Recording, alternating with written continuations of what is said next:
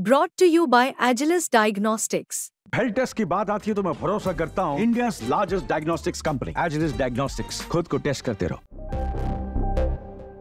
शरद पवार से बगावत करने के बाद एक वक्त ऐसा भी आया जब अजीत पवार प्राश्चित मोड में दिखने लगे। बहन के खिलाफ पत्नी को चुनाव लड़ाने जैसी गलतियों के लिए अजीत पवार सॉरी फील करने लगे।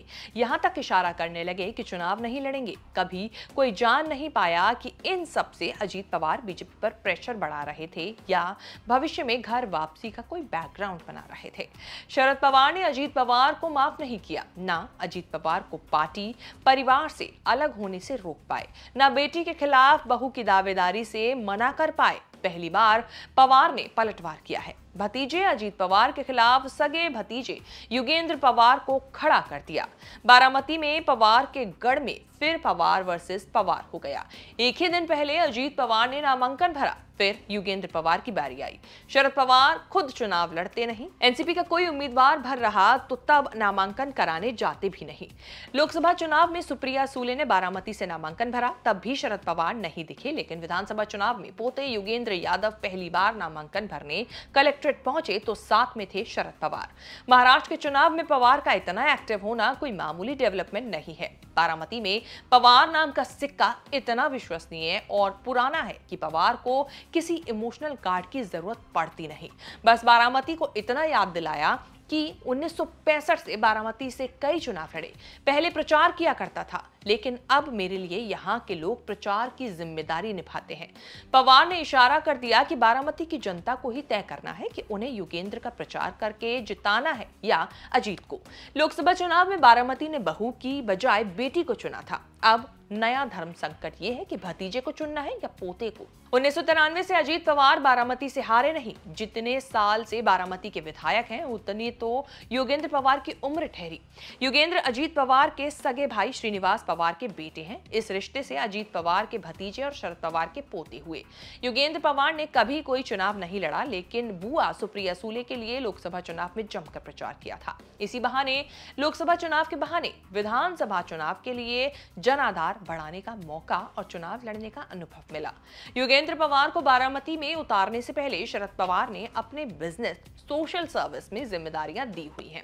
विद्या प्रतिष्ठान शैक्षणिक संस्थान के कोषाध्यक्ष हैं।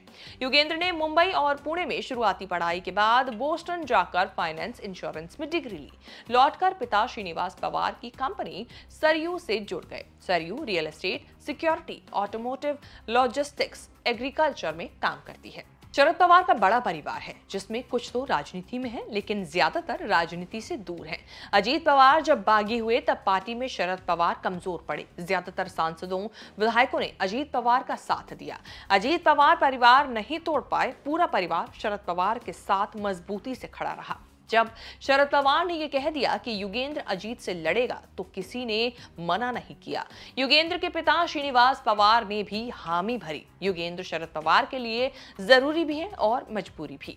पवार परिवार में कोई और है नहीं जिसकी राजनीति में नई लॉन्चिंग कर सके। भतीजे राजेंद्र पवार के बेटे रोहित पवार पहले से राजनीति में आकर विधायक बन चुके हैं। फिर करजत से चुनाव लड़ रहे हैं। अजीत पवार एनसीपी के अध्यक्ष हैं। पूरे महाराष्ट्र में एनसीपी को जिताने वाले अकेले वही हैं।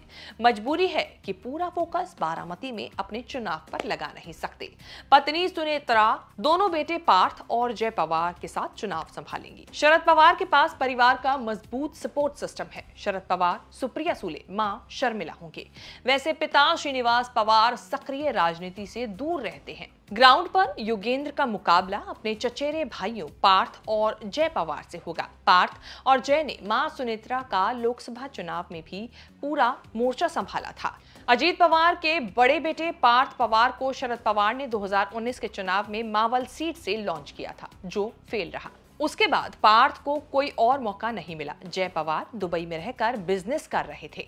अजीत पवार ने अलग पार्टी की तो दुबई से बारामती लौटे। सक्रियता देखकर अनुमान लगाया जा रहा है कि अजीत पवार अपने बेटे जय पवार को तैयार कर रहे हैं। जब अजीत पवार ने चुनाव से दूर होने का माहौल बनाना शुरू किया, तब जय का ही नाम उछला था। यह संभव है की अजीत पवार, पत्नी सुनेत्रा की हार के बाद बेटे जय को दाव पर लगाने से बच रहे हों।